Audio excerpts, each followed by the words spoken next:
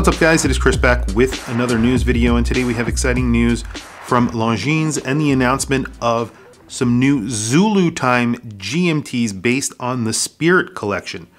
Before I get into it, please don't forget to like, subscribe, hit that bell icon. It is super helpful for the channel and I very much appreciate it. So, at the end of last year, I made a video highlighting some of my favorite under the radar releases of 2021. One of those watches was the 40 millimeter version of the titanium no date Longines Spirit Pilots watches, a good looking, straightforward watch on a titanium bracelet. Today, Longines are back with new Travelers GMTs based on that Spirit collection. The new Zulu Time is a sub collection of six watches within the Spirit lineup of watches, and it includes a jumping local hour 12 hour hand. So, in other words, a true GMT, or what is referred to as a true GMT or a Traveler's GMT. The big news here, however, is the new movement in this watch, and it gets a chronometer certified automatic L844.4, which is not a Powermatic 80 GMT. However, they are saying this is an in-house movement, but technically the caliber is based on a higher end base of the ETA 2893. So essentially what they're doing here is taking an ETA 2893 and they're making upgrades to it. They're giving it a 72 hour power reserve and a local hour jumping hand, so that is for obviously traveling. So this is a traveler's GMT. The other notable feature here is it's getting a bi-directional ceramic bezel, allowing the tracking of a third time zone. So these are ceramic bezel inserts, stainless steel bezels, and they are bi-directional. Uh, there are a few different colors available. We'll get back to that in just a second. Currently, the new Zulu Time will be offered in a 42 millimeter case, uh, and that is a stainless steel case, not in titanium yet, with a choice of bracelet or strap. So unfortunately, they are not offering this in 40 millimeters yet. However, I think they will in the future, and they are offering this on a bracelet or a strap. The price on the bracelet version will be $3,050, which is only $100 more than the strap version, which is really not a lot of money. The strap version will cost 2900 basically 2950 so it's $100 more. Dial colors available will be black, blue, and gray.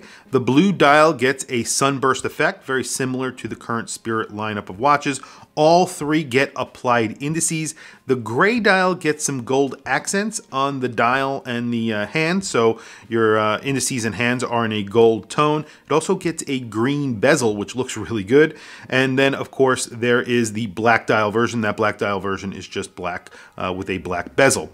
So a very attractive release here from uh, from Longines and a very uh, popular category, the GMT category. Very popular these days. A lot of brands releasing watches in this category because a lot of people want GMTs. A lot of people want what is referred to as a traveler's GMT or a true GMT, uh, and that's why Swatch is doing this. They're making changes to their movements.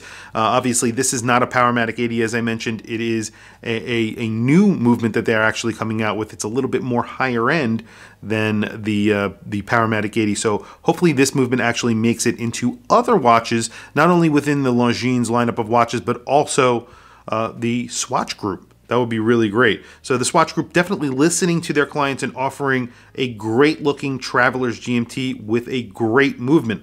Uh, and as I said, I hope they put this movement into a 40 millimeter titanium case or stainless steel case even uh, within this lineup of Spirit watches as well, as well as the other brands within the uh, lineup of Swatch Group, which would be awesome as well. Tell me what you guys think about this watch down in the comments below. Again, I am very excited about this release. I think this is a really good looking watch, uh, and it's a sub $3,000 release or around $3,000 release, which I think is a really good price as well, competing head to head with brands like Tudor and their uh, GMT as well, the Black Bay GMT.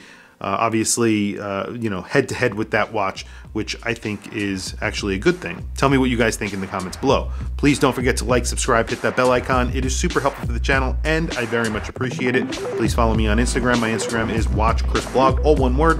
I have some links in the description. Those links are to Amazon. If you click those links and buy anything, it helps support the channel. It doesn't cost you anything extra. However, I very much appreciate it. Anyway, thank you for logging on. I'll catch you guys in the next video.